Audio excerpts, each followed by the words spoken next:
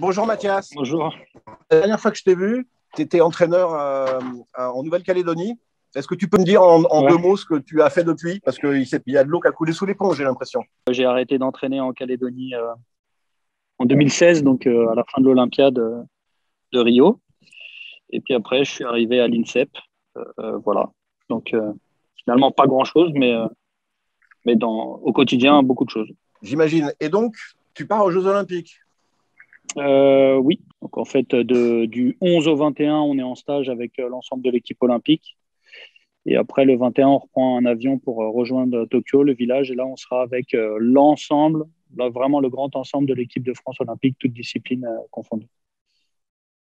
C'était une surprise pour toi d'être sélectionné?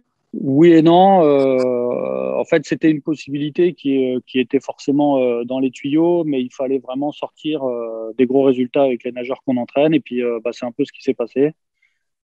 voilà. Et puis après, ils ont procédé à un classement des entraîneurs. Donc, la fédération a procédé à un classement des entraîneurs. Et bah, j'étais septième par rapport au, nombre de nageurs et surtout au niveau de performance du, meilleur nageur, on pourrait dire, euh, du potentiel de médaille. Et j'étais septième pour euh, six accréditations. Et après, il y a Fabrice euh, de Nice qui n'a pas souhaité y aller. Donc j'ai bénéficié quand même d'un un petit plus, on va dire, dans, dans, dans, cette décision. Quoi. Tu vas t'occuper de tes propres nageurs dont tu t'occupes à l'INSEP ou alors tu es entraîneur pour tous les nageurs? Comment ça se passe? Bah, euh, techniquement, on est tous recrutés pour euh, manager et encadrer l'équipe de France. Ça veut dire qu'il n'y a, plus, euh, a plus de bannière club.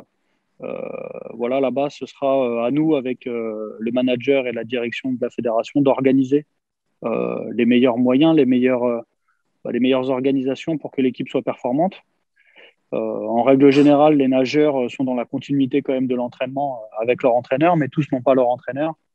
Euh, donc euh, forcément, je serai amené à, encadrer et à manager des, entraîneurs qui évoluent pas avec moi euh, quotidiennement, comme, comme un collègue peut être amené à, entraîner ou à manager des nageurs qui, que j'entraîne quotidiennement. Ça va dépendre parce que après la compétition, elle tourne en fait, elle s'arrête pas. un nageur, il fait pas une course et puis après c'est fini. Il y a tout ce process de d'échauffement. il y a une arrivée à la piscine qui est bien chronométrée, il y a un réveil qui est chronométré. Euh, avec plein de principes de, réveil, luminothérapie, euh, activation euh, avec le préparateur physique. Et tout ça, c'est rythmé individuellement pour chaque athlète. donc, on essaye de fonctionner au maximum en groupe, mais généralement, c'est des groupes de 1-2. voilà, derrière, il y a l'échauffement, la course, et puis derrière, il y a le passage aux médias, la récupération tout de suite, le massage kiné, l'évaluation vidéo. Donc, nous, on accompagne les athlètes sur, on va dire, à peu près un créneau de, peut-être de 3-4 heures donc à un moment donné, euh, si j'ai un athlète euh, qui est engagé dans, un échauffement et que moi je suis engagé dans un process compétitif avec un autre, peut-être qu'il s'échauffera avec un autre. Enfin voilà, le tout c'est d'être disponible pour cette équipe de France. voilà. Mais est-ce que tu es spécialisé? C'est-à-dire que tu t'occupes plus des, des nageurs de, de, de, sprint ou alors des nageurs de cuisson, des nageurs, des nageuses? Euh, mm. Est-ce que euh, euh, quand on est entraîneur, on est, spécialisé? Bah, Oui et non. Alors oui, parce que forcément, il y a des affinités. Moi, j'ai un groupe de garçons qui fait, le 200, qui fait, qui fait du 200 mètres nage libre.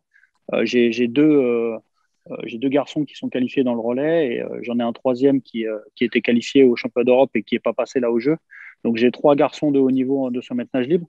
Donc je vais forcément avoir une place importante sur le 4x2.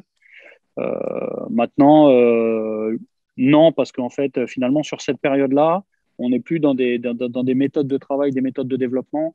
Euh, on est vraiment sur créer un environnement favorable à se préparer à, à la performance, à se préparer à la victoire. Donc, finalement, c'est des routines, ce qu'on appelle l'affûtage, c'est des routines qui sont à peu près les mêmes pour, pour, tout le monde.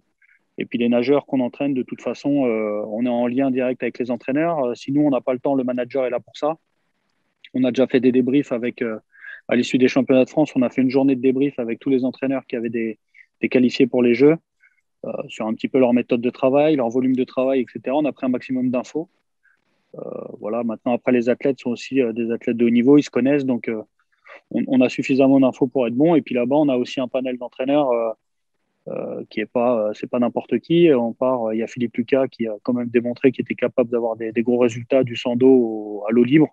voilà, il y, il y, a, Michel Chrétien, et puis derrière il y a Julien Jacquet, qui sont quand même trois entraîneurs nationaux qui ont déjà fait les jeux, qui ont une expérience. et puis derrière, on est trois jeunes entraîneurs pour nos premiers jeux. Donc moi, l'entraîneur de Toulouse, et puis l'entraîneur Damien.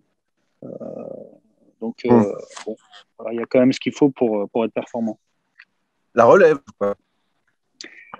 Bah ouais, à un moment donné, euh, à un moment donné, les choses, euh, les choses changent. Hein, c'est cyclique, voilà. Il faut bien, ouais, il faut bien qu'à un moment donné, les jeunes pointent le bout de leur nez. C'est aussi l'image de cette équipe de France olympique. Je crois qu'il y en a 15, 15 pour qui c'est leur première sélection. Et il restera quelques jours pour visiter le Japon quand même. Euh, bah non, pas du tout. En fait, on est, on est vraiment en isolement strict.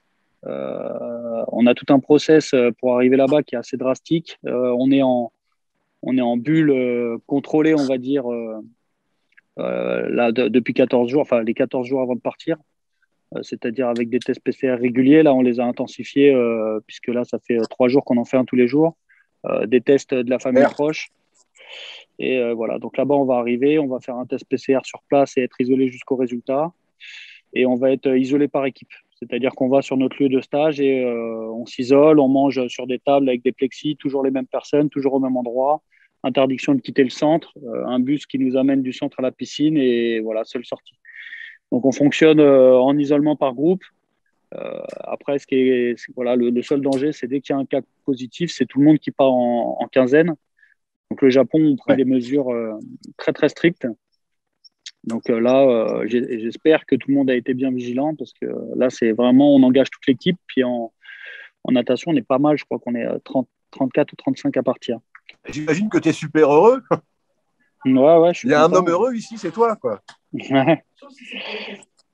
ouais, je suis content. Bah, je suis aussi content que, que, que quelque part, il y a un licencié de la JAD qui parte parce que euh, parce que c'est vrai que je suis arrivé à la JAD euh, en 2009. Oui. je, suis, je, suis, arrivé en 2009 et puis euh, bah, depuis, j'ai pas quitté la JAD. Et puis voilà, je m'entends très bien avec Romain. J'ai un très bon souvenir du club parce que pour moi, c'était vraiment un club qui bossait dans le bon sens. j'ai un très bon souvenir du soutien des élus, des dirigeants du club. Euh, voilà, ça me tient à cœur de rester euh, licencié à Drancy. Et puis euh, après, voilà, je suis, alors je suis pas souvent là, comme je dis à Romain, mais dès qu'il a besoin d'un coup de main au sein de la FFN ou quoi, bah, je sais qu'il sait qu'il peut m'appeler. À Drancy, ce qui a été important, ça a été de bah, d'y croire tout simplement. C'est vrai que quand je suis arrivé, c'était un petit peu plus compliqué. Il y avait trois clubs. En fait, ça a été de se dire que les enfants de Drancy ne valaient pas moins que les autres. Euh, et, je pense que ça a été ce discours-là. Euh, moi, j'ai pris chaque jeune de Drancy en lui disant si tel est ton projet, euh, on fera tout pour y arriver. Et ça rejoint ce que je disais. c'est quand même un des clubs, parce que maintenant j'ai une vision nationale. C'est un des clubs où l'encadrement et l'accompagnement des dirigeants, il est vraiment, vraiment à la hauteur de, ce qu'on peut attendre d'une association sportive. Moi, je suis, vraiment impressionné par le travail des dirigeants et des entraîneurs sur ce club par rapport à tout ce que je vois en France. Donc après, l'idée, ça a été ça. A été ça, ça, a été de dire que, ça a été de dire qu'un gamin de Drancy, il valait pas moins que les autres. Et euh, voilà, il avait, il avait l'opportunité de s'exprimer sur des championnats de France, l'opportunité d'aller de se confronter. Euh, moi, j'y ai cru. Il y a des gamins qui m'ont suivi, euh, l'ensemble de l'équipe qui m'a suivi. Et après, bah, ça s'est fait. Je crois que c'est finalement les, les, premières fois où on était sur des championnats de France élite pour Drancy et on était sur les, championnats de France de catégorie d'âge. Et puis maintenant, c'est vrai que quand je, suis sur, quand je regarde sur Internet les résultats des jeunes, j'ai toujours une petite pensée. Je suis les jeunes de Drancy euh, sur les compétitions, quoi, avec plaisir.